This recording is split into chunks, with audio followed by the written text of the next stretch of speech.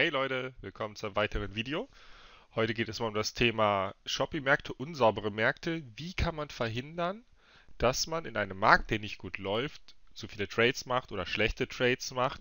Und was sollte man tun, wenn Märkte sich nicht gut verhalten, keine vernünftigen Bewegungen haben? Overtrading ist da ein Stichwort. Ein, ein, Stichwort ist auch Langeweile, dass man unbedingt was machen möchte, weil man nicht geduldig genug ist, um auf seine Setups zu warten was natürlich verständlich ist, wenn man Trading-Anfänger ist oder auch gerade so auf den Sprung ist es vielleicht zu schaffen, erfolgreich zu werden, so an der Hemmschwelle plus minus null, Break-Even, leichtes Plus ist und man möchte, hat einfach jeden Tag nur eine fixe Zeit an Stunden, die man ins Trading investieren kann oder möchte. Und wenn man dann natürlich zwei, drei, vier oder sechs Stunden oder vielleicht auch einen ganzen Tag vom PC sitzt und man hat Marktphasen vor sich, die so aussehen, ist es natürlich schwieriger, hier sein, an sich an seine Setups zu halten. Die wenigsten Leute haben vernünftige Setups für solche unsauberen Seitwärtsphasen. Bedeutet, es gibt nur zwei Möglichkeiten. Entweder man tradet nicht oder man tradet es. Und so eine halbdritte Möglichkeit ist, man tradet halt einen anderen Markt, was aber quasi das Weggehen von dem Markt bedeutet. Da ist immer die Frage, was ist das Sinnvollste, was man machen kann. Kurz ist aber weg. Wenn euch das Video gefällt, bitte lasst ein Like da, würde mich sehr freuen. Das unterstützt mich und hilft mir sehr. Und jetzt fangen wir an. Let's go. Also, wenn wir jetzt so einen Markt haben jetzt, ich habe extra mal, ne, wie ihr seht, ist der 6e von Anfang der Woche. Und wir sehen, wir haben eine relativ unsaubere Seitwärtsphase. Ne, sehr verschachtelt.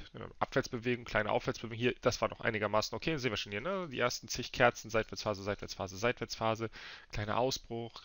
Nochmal ein kleiner Ausbruch, die Range wird erweitert. Ne? Das war die Range, die wir vorher hatten. Dann haben wir eine kleine Range-Erweiterung nach unten und nach oben, die nicht nachhaltig ist, wo der Markt sofort wieder zurückkommt und es wird einfach wieder schlimm, schlimmer in der Seitwärtsphase. Haben wir nochmal wieder einen Move nach unten, testen diese Erweiterung, zumindest den oberen Teil, wo die Schlusskurse waren, nochmal an. Das gleiche machen wir der Oberseite, aber im Endeffekt ist es alles eine extrem verschachtelte Seitwärtsphase und das sind immer Marktbereiche, wo man die Finger von lassen sollte. Darum ist Währungspaar ein extrem gutes Beispiel dafür, dass man früh genug erkennen muss, wann ein Markt sich bewegt und wann ein Markt sich nicht bewegt, wann man ihn also lieber dodgen, also abweisen sollte und lieber was anderes machen sollte. Wenn man sagt, wenn wir jetzt sowas hier sehen, wäre ja ganz gut, wenn wir das vielleicht schon hier erkennen und nicht erst hier und dann hier irgendwie von 10 Uhr bis 17 Uhr Zeit in dem Markt verbringen und warten, dass wir einen Trade machen können. Dann haben wir auf haben wir zig Stunden Zeit verschwendet und haben im Endeffekt nichts gemacht. Deswegen ist es wichtig, dass man verschiedene Märkte tradet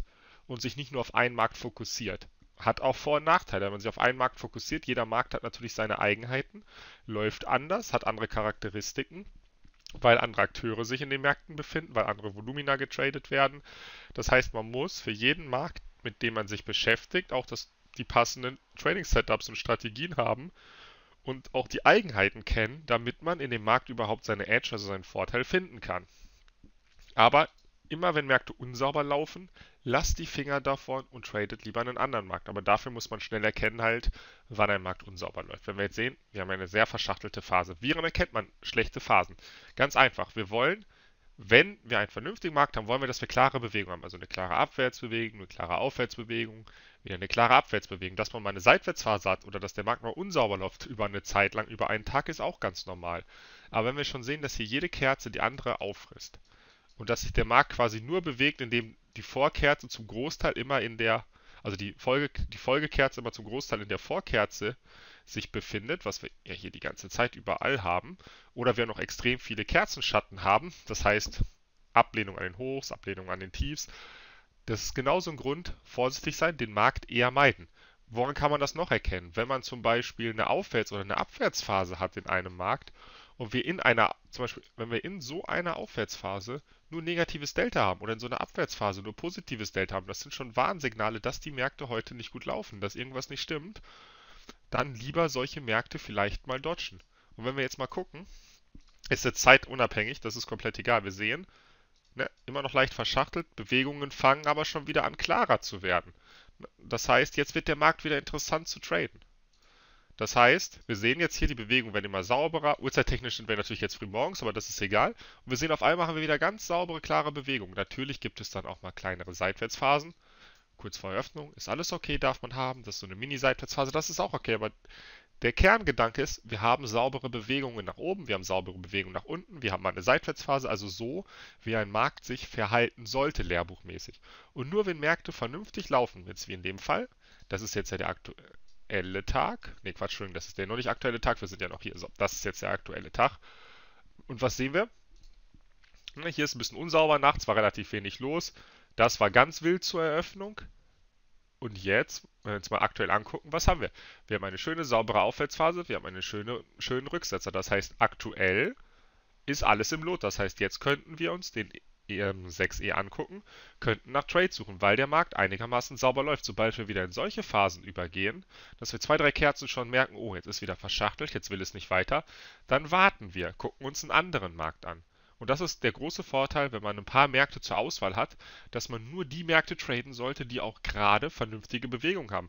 Läuft ein Markt unsauber, ist extrem verschachtelt oder es fehlt einfach absolut an Volumen oder an Liquidität, also äh, an Volatilität, also Bewegung, dann meiden wir die Märkte auch.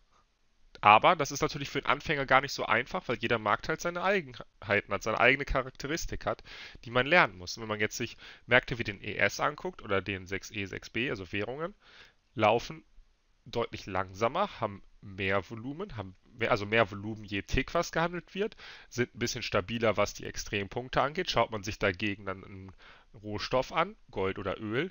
Die neigen dazu, ein bisschen dynamischer zu sein, haben auch mal Phasen, wo deutlich weniger Volumen in Bewegungen ist, weil die halt dafür schneller laufen. Und Extrembereiche, die angetestet werden, sind oft etwas, oder Seitwärtsphasen Tiefs oder Hochs, wenn sowas angetestet wird, oder Pullbacks. An solchen Bereichen neigen die Märkte dazu, immer mal so ein paar Ticks durchzugehen und dann laufen sie erst in die Richtung, in die man eigentlich möchte. Das heißt, mit einer Stop-Setzung muss man in manchen Märkten ein bisschen vorsichtiger sein, beziehungsweise braucht etwas mehr Abstand für seinen Notfallstopp, damit man nicht unnötig ausgestoppt wird. Das ist im Trading ganz, ganz wichtig. Dass ihr versteht, wenn ein Markt läuft, dass ihr den dann tradet, läuft der Markt nicht, dass ihr die Finger davon lasst. Und das, da hilft es extrem viel, wenn man sich Märkte anguckt und schaut sich an, was sind denn vernünftige Bewegungen, was nicht. Ne? Also klare Aufwärtsbewegung, klare Abwärts, klare Aufwärtsbewegung. Dass man dazwischen mal natürlich Seitwärtsphasen hat oder unsauber ist ganz normal, aber die Hauptbewegung, das muss sauber sein was wir hier jetzt auch gerade haben, geht es wieder in sowas hier über, Finger weglassen. Und das kann bei Währungen sein, dass es mal ein, zwei, drei Tage am Stück sind, wo man die überhaupt nicht traden kann, weil die Bewegungen einfach so klein sind, dass es oder so unsauber auch sind und so verschachtelt sind, dass es überhaupt keinen Sinn macht, das Währungspaar zu handeln. Das ist gerade bei Währungspaaren ganz extrem.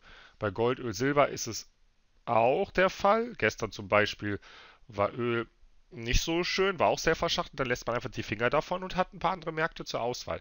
Wichtig ist, wenn ihr einen Markt handelt, konzentriert euch vernünftig auf den Markt, switcht nicht alle paar Minuten den Markt wenn, wenn sich dann irgendwas ändert, dann switcht auch für eine halbe Stunde, Stunde oder für zwei Stunden von einem schlechten Markt auf einen Markt, der sich aktuell gut bewegt. Aber nicht alle paar Minuten zwischen den Märkten hin und her switchen. Man muss auch so ein bisschen Gefühl dafür bekommen, wo liegen gerade die Dynamiken, wie, wie verhält sich der Markt, weil nicht jeden Tag ist ein Markt gleich.